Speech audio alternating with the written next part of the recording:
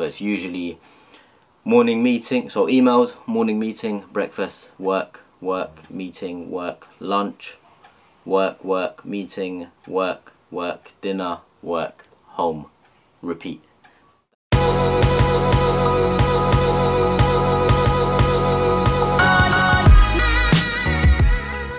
What is going on YouTube? Welcome back to the channel. For those of you that are new here, my name is Afzal Hussein and you can find out a bit more about me in the social media links below. And also you can check out a few of the projects that I'm working on through my website. If you haven't already or if you're new here, do subscribe to the channel, turn on post notifications, that way every time I release a video every Wednesday, you'll be the first to hear about it. Two weeks ago we spoke about how to secure an internship at Goldman Sachs. And then last week the video focused on the differences between the front office of an investment bank and the back office of an investment bank and which, which, which different divisions were in each of the front office and the back office and what type of roles and expectations you can expect if you start off your career in those areas. By popular demand and a lot of you have been requesting this video, today we're going to be sp speaking about a day in the life of a Goldman Sachs analyst. Many of you will know I graduated and joined Goldman Sachs Asset Management in a sales role and I spent a few years there and so oftentimes you go to a lot of these networking events or presentations and you're told what the analysts or the associates or the VPs do on a day-to-day -day basis and they always say every day is different but they never really go into detail on what they actually do and so today I wanted to address that and give you an in-depth insight into what an analyst not just at Goldman Sachs but what you can expect to be doing as a first year analyst. Now a quick caveat because there will be a lot of people wondering you know surely an analyst role differs from front office and back office from division to division so someone on the trading floor as an analyst, their role is going to differ to someone in asset management, to someone in the investment banking division, to someone in technology or operations, so on and so forth. And that is very true. And so, given I spent time in asset management, it makes sense for me to talk about my experience in asset management and what I was doing as an analyst in asset management in a sales role. So, in asset management, there's two key roles that you kind of start into as a graduate analyst. One is a sales role, so you become a salesperson, the other is an investment professional or a product person or a product specialist. That role is more technical and you become a specialist in a certain area of the financial markets as opposed to a client-facing salesperson. Now, as a trader, your role is going to be completely different and your day-to-day -day is going to be different.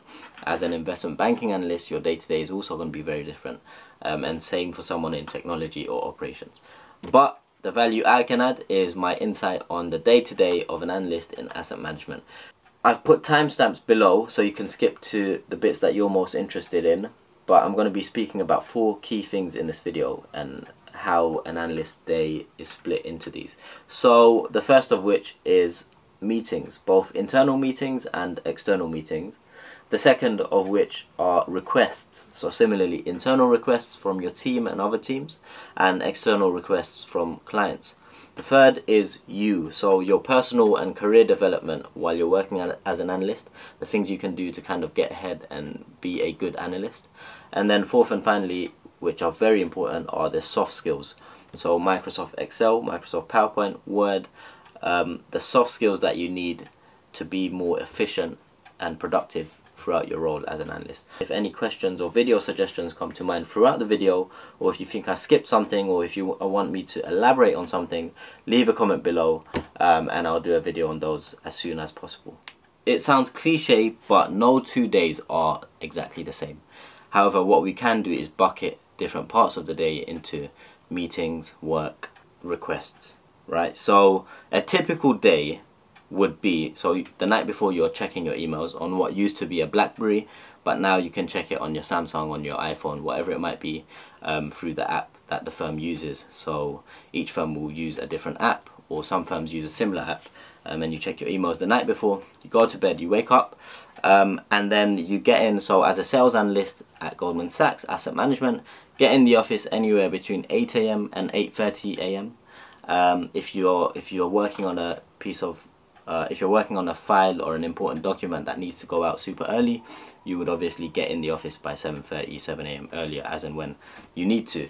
So typically get in 8 to 8.30 a.m. and then at 8.30 a.m. you've got the market meeting. So every morning at 8.30 there's a 30 or so minute meeting Um, it's basically a market update of what happened the day before, and it touches on the different regions um, and the different countries and different markets, what's been going on, what do we need to be aware of. Then after that, you might go to the canteen, grab some breakfast, eat it on your desk, and then you're gonna have uh, you're going to just work on your different projects you're going to work. Then you're going to probably have an internal or an external meeting.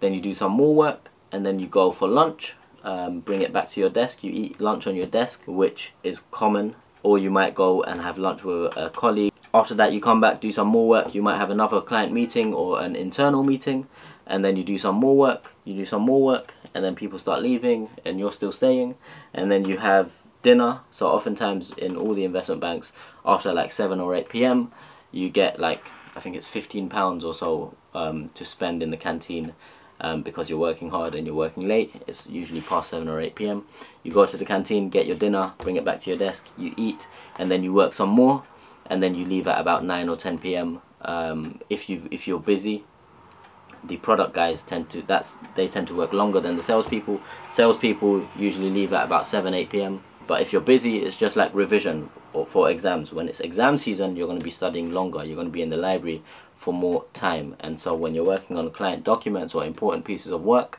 you're going to be in the office longer so the general day to day you're getting at about 8 a.m. to 8.30 a.m. and you're leaving at about 7 or 8 p.m. Um, and it lengthens given the workload or you know how busy you are. That's basically a day in the life of an analyst. But now obviously you're probably wondering okay what does work mean? What does client meeting mean? You know give us some more color. So that's exactly what I'm going to do.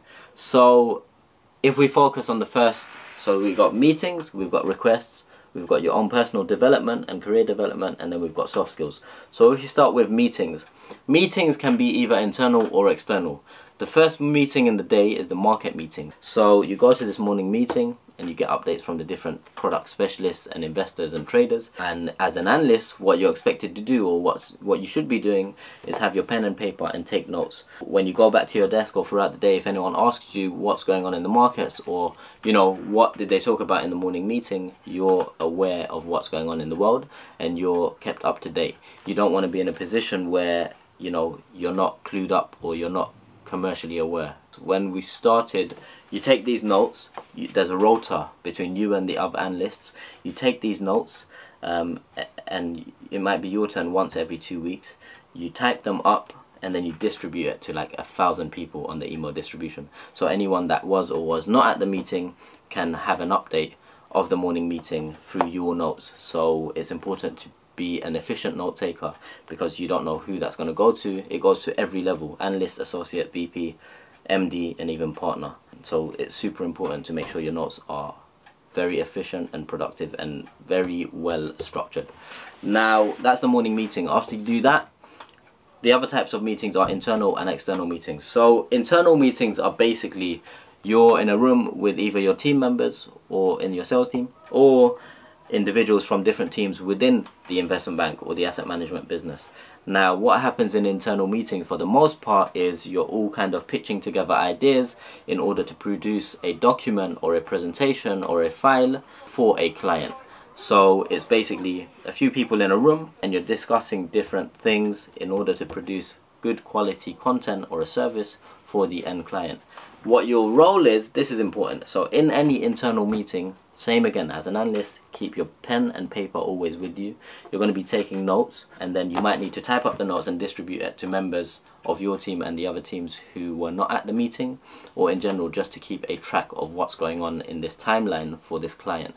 So as well as taking notes and distributing them in those meetings, what you are likely to be expected to do is if that meeting, the outcome needs to be a presentation slide or a few slides for a presentation you're likely going to be working on that presentation. So you need to take the right notes, make sure anything that people are saying in that meeting is being noted down and then you're going to leave that meeting with those notes and create a presentation slide a piece of work that you give it to your seniors they check it tell you if you need to change it adapt anything change anything and then that goes back and forth back and forth and then when it's nice and ready it gets printed and taken to the client meetings that's internal meetings. And then you've got client meetings. So once you're at the client meeting if you're lucky your team will take you to client meetings. Now fortunately at Goldman's um, you know in asset management they encouraged taking analysts to client meetings and they were quite good. It's good for your personal development um, and you know you, you're not going to learn by just being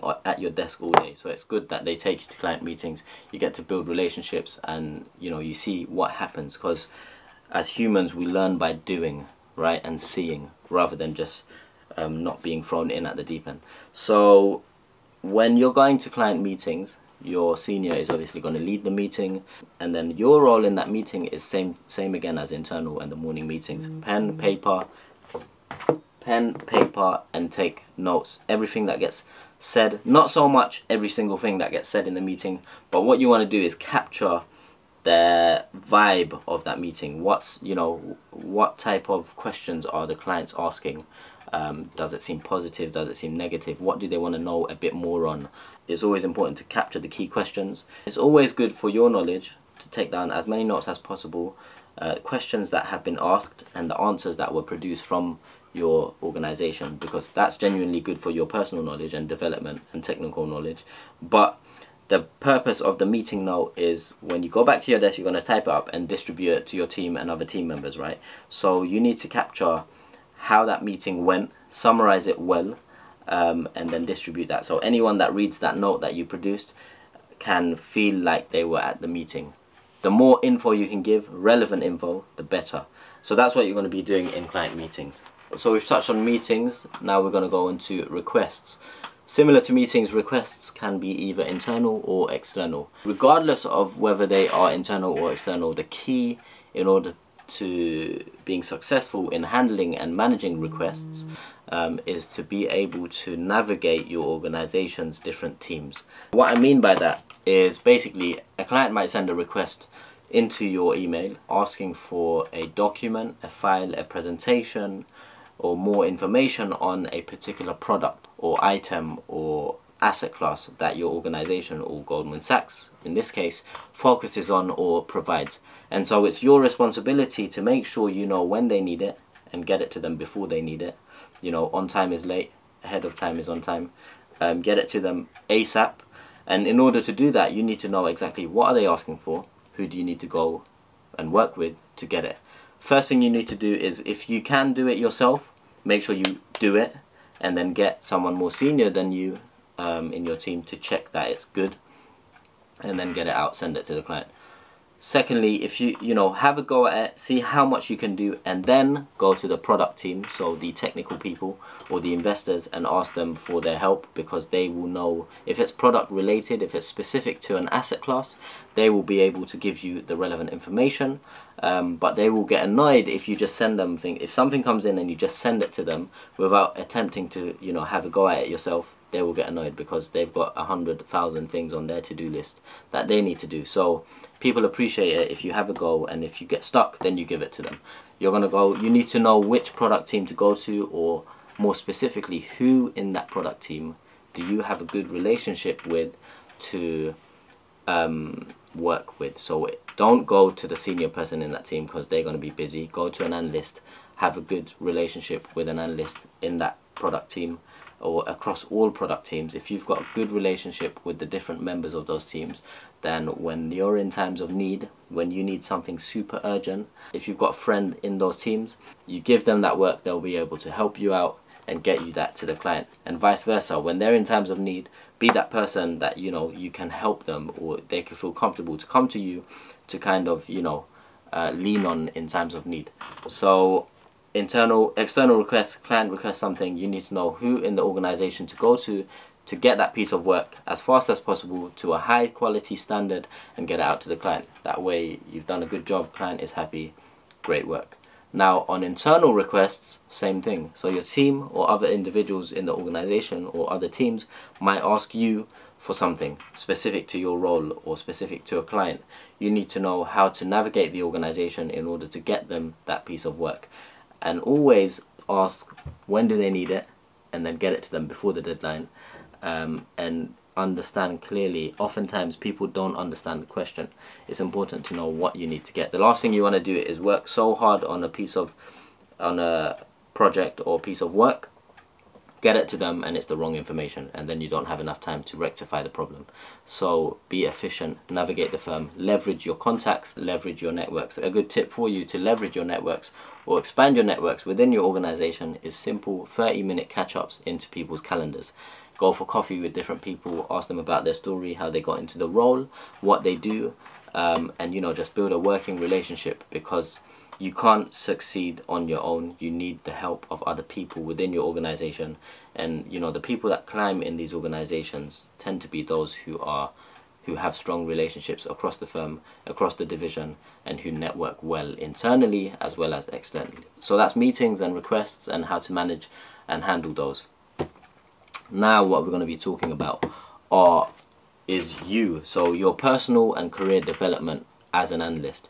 So you know as an analyst, it's good to come and just do all the mundane tasks, all the grunt work, all the hustle work, you know, the things that the seniors don't get paid to do. And, you know, you're going to be doing, let's say, some of the boring stuff, but some of the exciting stuff, so going to client meetings. But what's very important is the fact that you have to develop as an individual and you need to develop your career. So these come in the form of, so what happens is you might be given stretch assignments from your manager.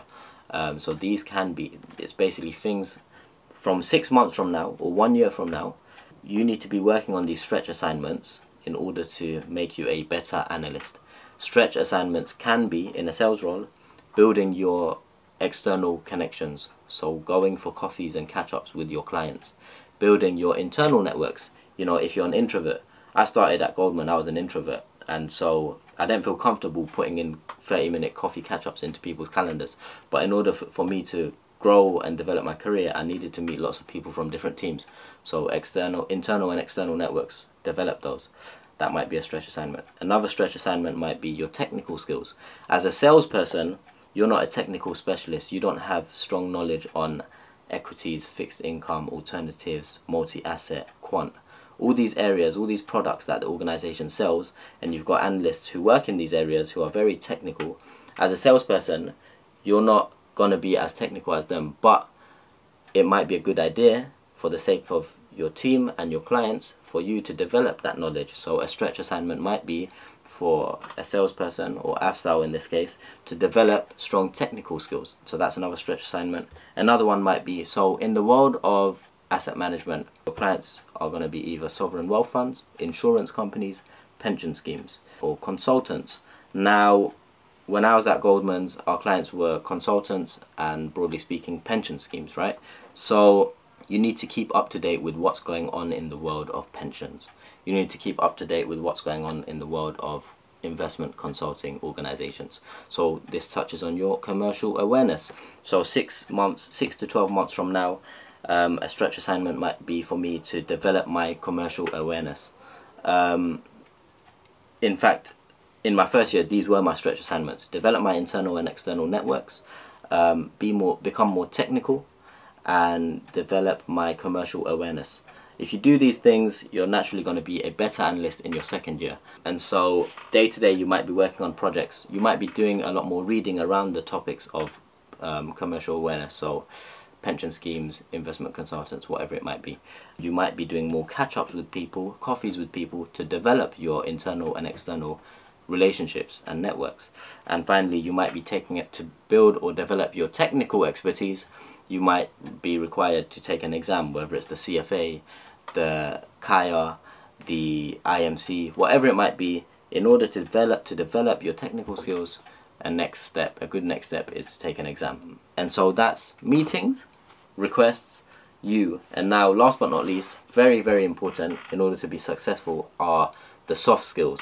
So I want to specifically touch on Microsoft Office. So soft skills can be interpersonal skills, communication skills, teamwork skills, but it can also be, you know, your skills on Microsoft Excel, Microsoft Word, Microsoft PowerPoint. As an analyst, these are the platforms these are the programs that you're going to be using most of your day. So it's it's imperative that you're comfortable using Microsoft PowerPoint to create PowerPoint presentations and slides that you're comfortable using Microsoft Excel to manipulate data create graphs charts and all of that. And Microsoft Word the most easiest one but sometimes oftentimes we're not as proficient as we can be. So managing your time and working on these, dedicating some time outside of work to improve your skills. Because when you're working on all these different programs, if you're efficient and you can save time, the most valuable individuals save their seniors or save people time whilst producing high quality content. Always remember that. If you can be an analyst that is saving people time and producing high quality content, you're naturally gonna be noticed and you'll naturally climb. You know, previously I touched on typical day, emails at night, emails in the morning, morning meeting, breakfast, uh, work, work, meeting, work, lunch, and then work, work, meeting, work, dinner, work, work. That should make a bit more sense. So every time I've said work there, that means you're either working on your personal projects, career development, and your personal uh, development, or you're working on a request from a client, or you're working on an internal meeting or an internal request from one of your team members or the other team members um, and this work is going to usually be on either Microsoft Excel Microsoft PowerPoint or Microsoft Word or on the internet doing some research, relevant articles, relevant data and research broadly speaking. Now where I said meeting in the day, it's either an internal meeting or an external meeting. If it's an internal meeting, you're going to be taking notes, being told what to create on the back of that meeting, whether it's PowerPoint slides, whether it's a presentation, you have to go away and create that. There'll be a lot of back and forth between you and your teammates and if it's a client meeting you're going to be in that meeting taking down the notes taking down the meeting notes or the minutes and typing them up when you get back to your desk and distributing them to your broader team that is basically a day in the life of an analyst at Goldman Sachs in asset management in sales and it's similar for most asset management sales analysts on the flip side for someone in investment or product so a more technical role in asset management for example their role will be similar in the meetings will be similar. They work more on creating PowerPoint presentations rather than working on requests for clients, direct requests. All the work that we do ends up going to, most of it goes to the clients anyway. However, their role, they need to focus more on becoming a specialist within a specific subsector of an asset class. So within fixed income, as an analyst in the technical side or the product team, you might be focused on emerging market debt and then that's going to be your baby you focus on emerging market debt any requests specifically for emerging market debt from clients or internal sales teams or whoever it might be then you as a product specialist in emerging market debt will have to focus on getting them that work or working on those meetings and tasks in summary what you can expect as a first year analyst is lots of interaction with different teams lots of client requests managing client requests in order to get them what they want. Working on PowerPoint, working on Word, work, working on Excel, setting yourself personal development goals and improving your technical skills, improving your communication and teamwork skills, improving or developing an internal network within the company so people know who you are. They say it's not about what you know, it's about who you know. But it's not about who you know, it's about who knows you. So you need to develop your internal network, you need to develop your client network, so your external network. Become a master of the basics and the small wins will make the big wins. It's simple as that. And that is literally what you can expect to do as an analyst in sales asset management. More than anything, my message for you would be if you're genuinely interested, the first two years will fly by because there's so much work to do that you're going to be so engaged. You're going to be hit with a steep learning curve and there's so much work to embrace. It's going to be keeping you very busy. Be extremely good at the small things and then naturally everything will fall in place. Two top tips, focus on producing high quality content while saving people time. If you could do those two things, you'd be very valuable. I hope you've enjoyed that insight into what life as an analyst involves. And if you have any questions leave them in the comments below. Any feedback leave them in the comments below. But until then I will catch you next week with another video. And thank you so much for watching. Thank you for taking the time. I look forward to seeing you next week Peace.